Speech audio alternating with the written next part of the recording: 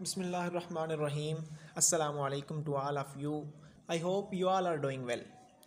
Students आज की ये वीडियो मैं आपके लिए C S three zero two के इम्पोर्टेंट टॉपिक्स के हवाले से लाया हूँ काफ़ी स्टूडेंट कंफ्यूज थे कि C S three zero two का हमने क्या करना है इसकी समझ नहीं आ रही असल में ये सब्जेक्ट जो है, थोड़ा सा कंफ्यूज कर देने वाला है कि हम क्या करें और क्या ना करें तो आज की इस वीडियो में मैं आपकी इंशाल्लाह सारी कन्फ्यूजन्स ये जो हैं दूर करूँगा। इससे पहले आपसे रिक्वेस्ट ये है कि अगर आप मेरे चैनल पर न्यू हैं तो प्लीज़ मेरे चैनल को सब्सक्राइब करें और बेल आइकन को भी प्रेस कर लें। तो इन आपको ये वीडियो, आज की ये वीडियो आपके लिए काफ़ी बेनिफिशियल होने वाली है। और ये सारे जो टॉपिक्स मैंने, एक लेक्चर वाइज समझने के टॉपिक्स मैंने ये इधर पिक किए हैं और इम्पोर्टेंट टॉपिक हैं। इसको हमने, समझ लें कि इस कोर्स को फोर हिस्सों में डिवाइड किया है और फोर पार्ट्स में डिवाइड करने के बाद ये जो हमारे पास चार हिस्से हैं, इनको हम बारी बारी देखेंगे और आप इन चार हिस्सों को एक एक दिन में एक हिस्सा कर सकते हैं। यानी कि चार दिनों में आप अपनी तैयारी कंप्लीट कर सकते हैं। अच्छा तो ये आपने क्या करना क्या है इसका अब? सबसे पहले तो आपने हैंडआउट्स को देखना है। हैंडआउट्स की मदद से ये जो टॉपिक्स इधर मैंने बताए हुए हैं, उधर से आपने ढूंढ के आसानी से मिल जाएँगे आपको, ठीक है? तो आपने ये कर लेने हैं। तो ये फोर पार्ट्स हैं, ठीक है? तो फोर पार्ट्स में पहला जो इसका हिस्सा है, इसमें जो पहले समझ लें कि हमने जो डिवाइड किया है, उसका जो पहला हिस्सा, वो है लैचिज़ एंड फ्लिप फ्लॉप्स जी तो ये लैचेस और फ्लिप फ्लॉप्स इसका फ़र्स्ट पार्ट है, जिसमें हम क्या करेंगे कि लैचेस और फ्लिप फ्लॉप्स के मतलब जितने भी टॉपिक हैं, उनको डिस्कस करेंगे। दूसरे नंबर पे है स्टेट मशीन्स और इसकी डायाग्राम्स ठीक है, जिसमें मेले मशीन मूरे मशीन ये सारी आ जाती हैं। तो थर्ड नंबर पे है शिफ्ट रजिस्टर तो शिफ्ट रजिस्टर के बाद फिर मेमोरी तो इन चार टाइप्स को हम देखेंगे इस कोर्स की और इम्पोर्टेंट टॉपिक्स देखेंगे, इनमें से कौन से बन रहे हैं? और अगर इन आप ये टॉपिक कर लेंगे तो आपका सारा पेपर अटैम्प्ट हो जाएगा। ये फ़ाइल इन आपको मैं डिस्क्रिप्शन में दे दूँगा। जी तो ये फ़र्स्ट है latches and flip flops the gated S R latch first topic हमारा जो इम्पोर्टेंट है। उसके बाद डी लैच है, ठीक है?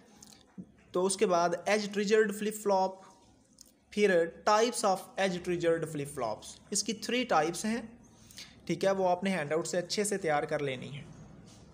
वो थ्री टाइप्स काफ़ी इंपॉर्टेंट है। उसके बाद मास्टर स्लेव फ्लिप फ्लॉप ठीक है, इसका आपने सिर्फ़ डेफिनेशन और डायग्राम अच्छे अंदाज से देख लेनी है। क्योंकि ये डायग्राम हमें ज़रूरी नहीं कि वो कहे कि डायग्राम बना दो, बल्कि इस तरह से भी आ सकता है कि वो डायाग्राम की पहचान हमें कहता है कि पहचान करें ये किसकी डायाग्राम है। इसलिए आपने उस लिहाज से इसको देख लेना है।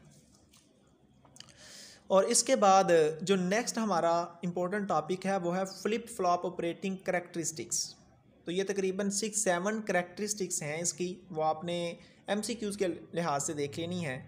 तो इनमें से कुछ इंपॉर्टेंट भी हैं, ठीक है? और जो शॉर्ट क्वेश्चन के लिहाज से वो ये propagation delay setup time and power dissipation तो ये शॉर्ट क्वेश्चन के लिहाज से बड़े इंपॉर्टेंट हैं।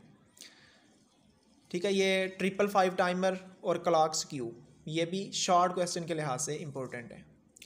जी तो इसका सेकंड जो पोर्शन है, वो है डायाग्राम्स स्टेट मशीन्स के डायाग्राम्स का। इसमें सबसे पहले काउंटर और फिर टाइप्स ऑफ़ काउंटर तो इसकी कई टाइप्स हैं, जैसे अप काउंटर हो गया, ठीक है? आपने करना क्या है इसका? स्टेट डायग्राम टेबल इसका और इसका नेक्स्ट स्टेट टेबल तो ये बहुत आसान है। नेक्स्ट स्टेट टेबल जब करंट स्टेट होगी करंट स्टेट में वन हम वन हम प्लस करते जाएँगे, वो इसकी नेक्स्ट स्टेट बन जाएगी. तो इसी तरह आपने ये जो डाउन काउंटर है डाउन काउंटर की भी आपने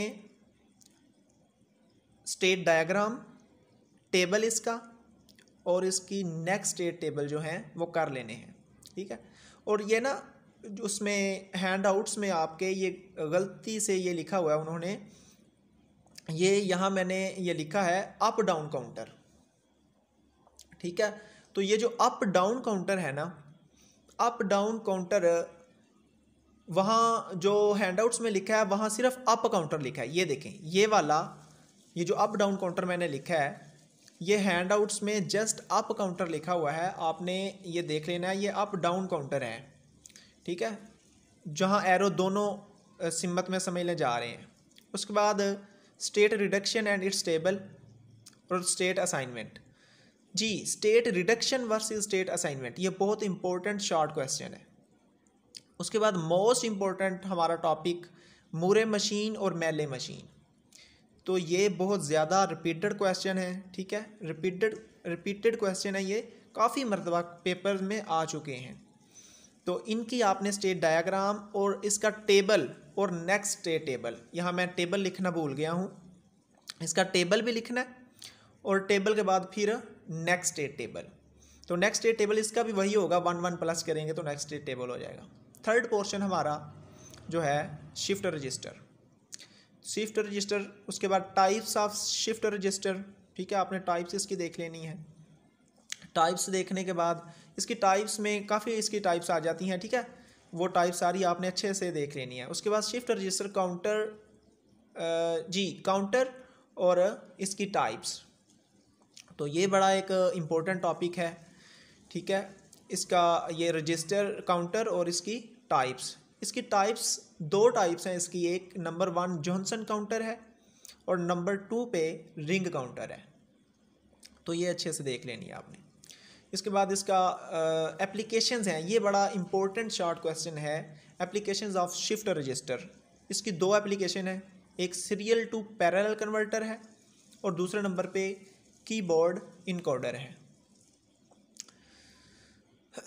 अच्छा। तो ये दो टाइप्स कर लेनी है आपने अच्छे से। ये एम में भी आ जाती हैं और शॉर्ट क्वेश्चन में भी आ जाती हैं।